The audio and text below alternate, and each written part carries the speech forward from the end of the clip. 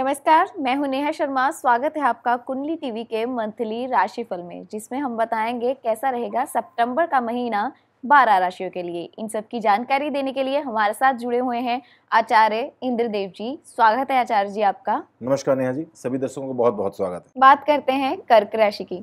तो आचार्य जी जानना चाहेंगे कि कर्क राशि के लिए ओवरऑल समय कैसा रहेगा? जी नेहा कर्क राशि चौथे नंबर की राशि है जी। और इसके स्वामी बनते हैं चंद्रमा। चंद्रमा का मन से बहुत गहरा संबंध होता है, बहुत सेंसिटिव राशि मानी जाती है कर्क राशि। तो कर्क राशि का ये जो चार्ट है सितंबर के महीने में लगभग कैसे रहेगा, ये आपके सामने है। यहाँ पर केवल दो ग्रह ट्रांजिट करेंगे। एक सूर्य सत्रह सितंबर को बदल करके सिंह राशि से कन्या राशि पे आ जाएँगे और शुक्र फिर जा करके 24 तारीख को 24 सितंबर को भी वो भी राशि परिवर्तन कर देंगे। इसके अलावा बुध बकरी होंगे 10 सितंबर को, चंद्रमा को छोड़ के हर सवा दो दिन में चंद्रमा दे, चंद्रमा को छोड़ के और कोई ग्रह ट्रांजिट यहाँ पर नहीं कर रहा है। बाकी आपका चार्ट सामने है। तो कर्क राशि के जातकों की अगर मैं बात करूँ तो यहाँ पर इनको इस सितंबर महीने में थोड़ी सी पराक्रम में वृद्धि हो सकती है। नए प्लान बन सकते हैं। किसी का सपोर्ट किसी का सहयोग मिल सकता है। किसी महिला शादी का, अगर आप महिला है तो पुरुष शादी का और पुरुष है तो महिला साथ, साथी का सहयोग मिलता नज़र आ रहा है, सपोर्ट मिलता नज़र आ रहा है, उसकी गाइडेंस से आपके कुछ बिगड़े हुए काम बनते नज़र आने एक तो ये बड़ी बात है। दूसरा, यहाँ पर गुरुदेव भी बृहस्पति बकरी चल रहे हैं, लेकिन यहाँ पर आपका अब अगर कुछ नया प्लान करते हैं तो भाग साथ दे सकता है। तो इन, इस लिहाज से देखा जाए तो कार्य क्षेत्र के लिए लगभग समय ठीक है अच्छा है आप अच्छा ग्रोथ कर सकते हैं कर्क राशि के जातक। आचार्य जी बात करते हैं कि जो लोग कर्क राशि के जातक हैं वो कुछ लोग बिज़नेस में होंगे कुछ लोग जॉब में होंगे तो उनके लिए ये महीना कैसा रहेगा? सितंबर का महीना और कर्क राशि के जातक जो लोग नौकरी से संबंधित करते हैं तो यहाँ पर सबसे पहले आपको बता दूँ बृहस्पति दसम में राहु यहाँ पर नौकरी अच्छी चलेगी आपकी। नौकरी में थोड़ा सा बदलाव हो सकता है। नौकरी में चेंजिंग हो सकती है। नौकरी में थोड़ा प्रेशर रह सकता है जिससे मन परेशान होगा। कई बार लगेगा आपको कि नौकरी बदल दे नौकरी और कोई कर ले नौकरी छोड़ दे ऐसी भी चीज़ें रह सकती हैं। तो आपको इस चीज़ से बचना चाहिए। नौकरी को लेकर के हाँ झंझट थोड़ा सा मुश्किलें या समस्याएँ नज़र आ रही हैं सितंबर के महीने में। जो लोग अपना व्यापार करते हैं अब जिनका लोहा केमिकल तेल ऑयल पेट्रोल या ऐसी चीज़ों का शनि से जुड़ा हुआ काम है। उनका इस सितंबर महीने में काम थोड़ा सा बढ़ सकता है और कोई नए भी आप चीज़ों की शुरुआत कर सकते हैं, नया प्लान कर सकते हैं। काम में थोड़ी सी चेंजिंग भी हो सकती है। जो लोग नए बिज़नेस की शुरुआत करते हैं तो उनके लिए भी समय लगभग ठीक रहेगा।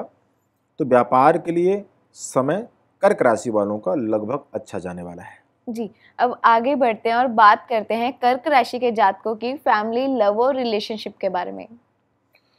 नेहा जी जो कर्क राशि के जातक है तो यहाँ पर पत्नी के साथ थोड़ा सा मन मुटाव रह सकता है। कहा सुनी हो सकती है। कोई बहुत ज़्यादा नहीं। अब जिसकी जीवन में पहले से अगर पत्नी के साथ कोई समस्याएँ चली आ रही हैं तो वो थोड़ी सी बढ़ती नज़र आ रही हैं। यहाँ पर समस्याएँ सॉर्ट आउट नज़र नहीं आ रही हैं। लेकिन नॉर्मल जो लोग हैं तो उनमें थोड़ा सा कहा सुनी हो सकती है। पत्नी के साथ थोड़ा सा मन मुटाव रह सकता है। कुटुंब, परिवार की अगर मैं बात करूँ आपको तो परिवार के साथ समय लगभग नेहा जी बैलेंस रहेगा ठीक ठाक रहेगा। यहाँ पर माँ आदि की, आपकी माता जी की सेहत आदि में थोड़ी सी दिक्कतें रह सकती है, अगर परिवार की बात करें। तो माता को समस्या नज़र आती है इसके साथ इसके अलावा परिवार के लिए समय आपका ठीक जाने वाला है सितंबर का महीना। जी अब आगे बढ़ते हैं और बात करते हैं जो लोग स्टूडेंट हैं या फिर जो लोग रिसर्च में हैं उनके लिए समय कैसा रहेगा?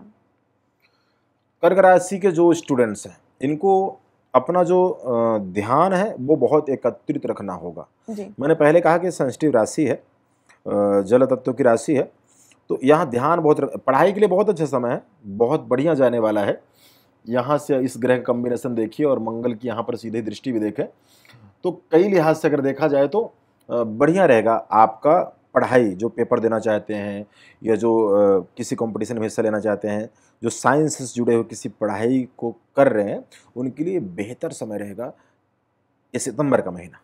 तो चलिए अब बात करते हैं इनकी हेल्थ की और ट्रैवल की। हेल्थ के लिहाज से इनके लिए समय कैसा रहेगा और ट्रैवल के लिहाज से कैसा रहेगा? धार्मिक यात्राएँ हो सकती हैं और भगवान शिव की आपने किसी इष्ट के तीर्थ में भी जाने का प्लान हो सकता है आपका।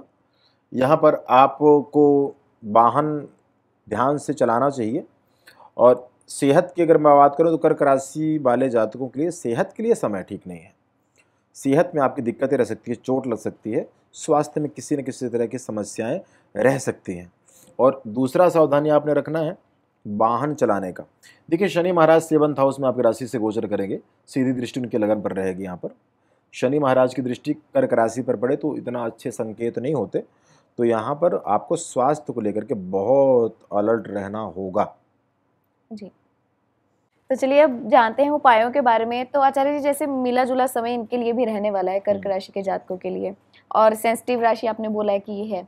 तो क्या उपाय ये कर सकते हैं ताकि इनका मन जो है स्थिर रहे या फिर मेंटली ये अच्छा फील करें? इन्हें भगवान शिव की आराधना करनी चाहिए। भगवान शिव के या फिर चंद्रमा के किसी मंत्र के चंद्रमा का मंत्र का जाप करना हो तो ओम राम श्रीम श्रोम सरा चंद्रमा से नमः, इस मंत्र का जाप। या भगवान शिव के किसी भी मंत्र का जाप करें। इन्हें रात को दूध दही ग्रहण करने से बचना चाहिए। एक तो ये उपाय करना चाहिए और तीसरा उपाय कर्क राशि के जो जातक है इन्हें एक काम करना चाहिए। सोमवार वाले दिन कच्ची लस्सी में गंगा जल वगैरह मिला करके भगवान शिव को जाकर के अर्पण करना चाहिए। अच्छे रिज़ल्ट आएँगे। जी तो ये था कर्क राशि का हाल। नेक्स्ट एपिसोड में हम बात करेंगे अगली राशि सिंह की। जुड़े रहे हमारे साथ। धन्यवाद। जय माता दी।